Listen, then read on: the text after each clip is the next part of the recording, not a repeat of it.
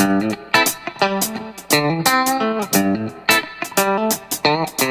guys, this video is going to be kind of a review of the products that I've used up literally over the last half a year. We've been moving um, from state to state, from country to country in the past half a year, maybe four months probably, and so I have had so many empty products that I've accumulated that I didn't take with me, but I took pictures of, so I will be showing those products up close on the screen as I talk about them. First product is this Kirkland Moist Flushable Wipes. I bought these for some reason thinking that they are makeup removing wipes.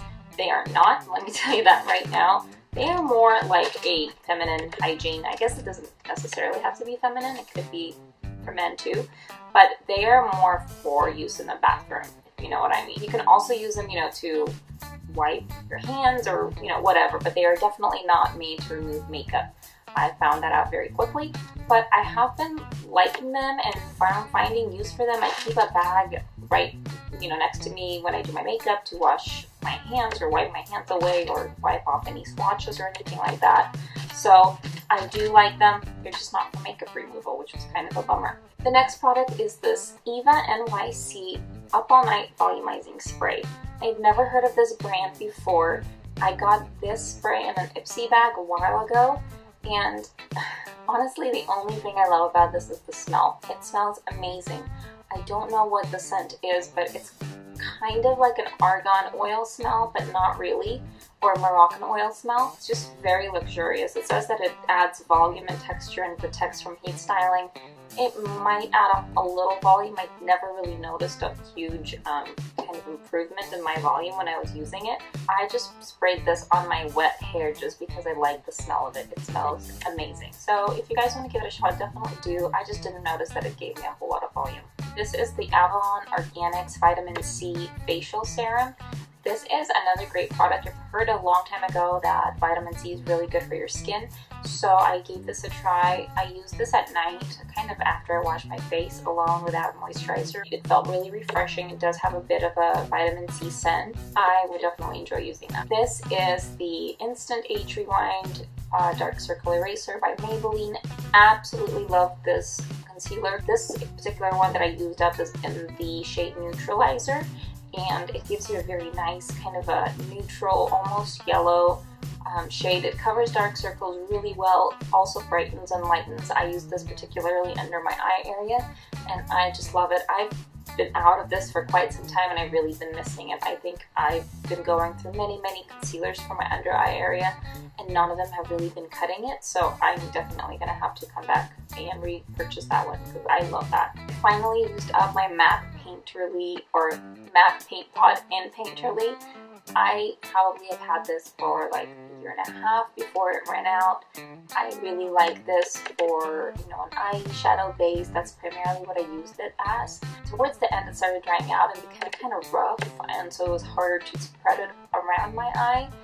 But I definitely really, really like using that product. The only negative I would say is that there's a lot of less expensive products um, or eyeshadow primers that you could use for that purpose. So if you don't pay $20, you definitely have many, many alternatives. This is the Estee Lauder Double Wear Stay in Place Foundation. I'm just bummed that it ran out because I really love that foundation. It's a great, almost full coverage, you know, anti-shine matte foundation. If you want a little dewier finish, use a beauty blender, but I really, really enjoyed it.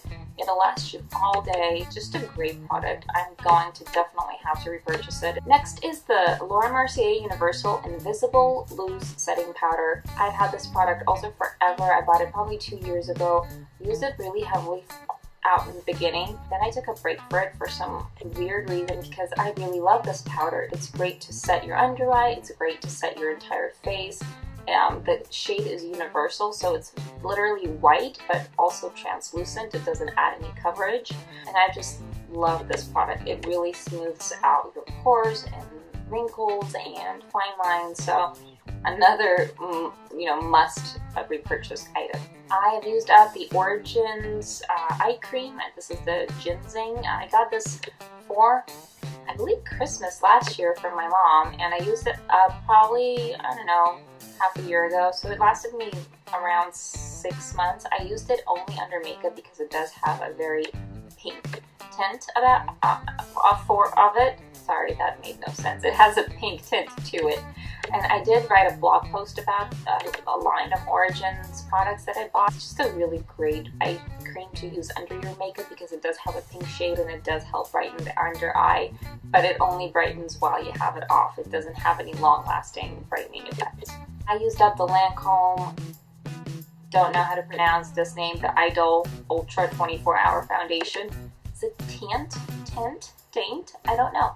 But also another great foundation. I have a full-blown review specifically on this foundation, but I really enjoyed it. Go and watch the review so I don't have to tell you about it. This is the NYX HD Concealer and it is in porcelain. I repurchased one in Fair. But I do like the porcelain one. It did seem like it would be way too bright for my skin tone. I'm an NC25 in MAC, but it was actually really nice and I'm really missing kind of that really bright under eye look.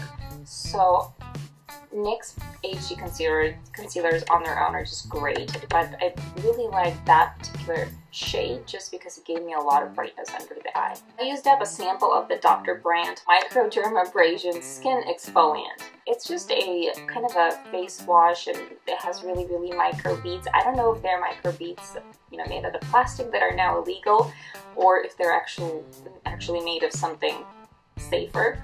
Um, but I did enjoy it. It was really, really micro, small uh, size of the exfoliant, so I really do enjoy that. I don't like scrubs that are super gentle, that it's like you're getting a pampered massage. I do like a little scrub to my um, exfoliating products. So I did enjoy that. This is the Revlon Color Stay. I've had this too for a while. I finally made it a point to just use it consistently so I would finally use it up just because it's been so long and I don't want it sitting there for too long. But it's a great makeup, lasts very, very long, as you probably all know. I have a hard time finding a, sh a shade match for my skin, so this particular one was a little too pink for me, which kind of prevented me from wanting to use it, but just the product on its own is really great. This is the Youth Extend Eye Cream from Artistry. For those of you that don't know, Artistry is an Amway brand, and um, I am allergic to a lot of the eye creams from Amway. This one I found was kind of similar. If I use it really close to like my, you know, lash lines, it gets red. Um, nothing too dramatic, but it does get kind of red and puffy. So I did use it all out, but I just left it kind of around the eye area, not super close to my eyes. I think it's a great product. I did like the way my under eye area looked when I had it on. It does kind of smooth things out.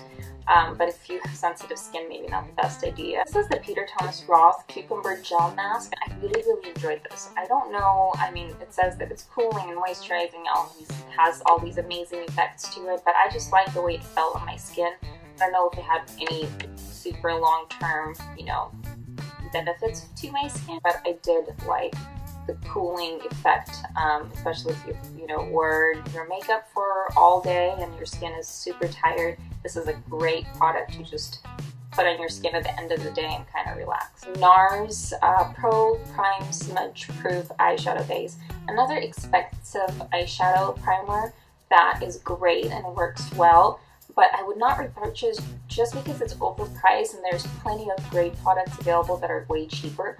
Another thing is this tube kind of gets to me because when I was when I used it up, I'm sure there was still a bunch of product left on the very bottom of the tube, but I wasn't able to get to it because it has a brush applicator, kind of like a mascara would. Um, you know, a tube like a mascara would. The brush wasn't like a mascara brush. It was felt tip or what is it, foot applicator. There we go. So but that kind of got to me that I knew there was a lot more product inside left. I just couldn't access it. And I feel like there's just a lot of waste that way. So I wouldn't repurchase it. It's also around $20, I think. And there's just no reason to spend that much money for a product like that. This is the Batiste Dry Shampoo. I really, really enjoyed this dry shampoo. I think it really works well. It doesn't give you a whole lot of volume like the Big Sexy Hair Dry Shampoo would but it does take away the oils pretty darn well. And for $5.99, you can't go wrong. I usually get those at TJ Maxx or Marshalls. I think they're a little cheaper than you, they are at you know your drugstores. Um, but definitely a great dry shampoo. This is the Cebu Eye Cream. I heard, I believe, Summer Saldana talk about this, and she said that she really liked it, but once she traveled with it, it went funky. It kind of almost like coagulates. The same thing happened to me. When I purchased it and used it for a few weeks and it was great. It has a really nice tightening and kind of firming effect while it's on. And then we flew to Saipan and I started using it there and the liquid separated from the cream and the cream came out all beady and so I would have to shake it really really really well every time I wanted to use it and it was still not the same so I don't think I would repurchase it just because I don't know if it does that after a few weeks or it's because you go up in elevation. So, um, kind of nice product, but I don't know what the deal is with that. This is the sulfur zinc oxide soap. I found this in Saipan. I think it's a product made in Philippines, and it's a soap for your skin. It's specifically, um, you know, marketed for acne and kind of skin condition. If you've seen my acne video, the thing that kind of brought my skin out of that whole mess was zinc oxide in Desitin baby butt cream. So when I saw that, I was so super, super excited because it has the same property and it's definitely, um, you know, nice to keep as a maintenance product. So if you wash your hair or your face with it every day, it helps kind of protect your skin from all the excessive oils that kind of collect in your pores. So I was super excited for that. This is the Reviva Eye Firming Cream. I purchased this at Vitacost. I loved using this. It's a great product. It's very moisturizing. That's the thing that I probably love the most. It's very inexpensive, so I will definitely be repurchasing that, repurchasing that, and I would love to use that again. And finally, this is the Satinique shampoo and conditioner. This is another brand um, that is distributed by Amway. I'm not affiliated with Amway, by the way. I just have a close family member that is, and so sometimes when I get gifts, I get beauty products and, you know, hair care and makeup products by Amway. So I am in no way trying to push this one way or the other. This shampoo is actually pretty good. I did enjoy it. The hassle with that is that you do need to buy it through a distributor. So if you know someone, I would give it a shot. I think it was great moisturizing, moisturizing shampoo and conditioner. It smells good. Really enjoyed it, but if you don't, it's just a hassle to get. So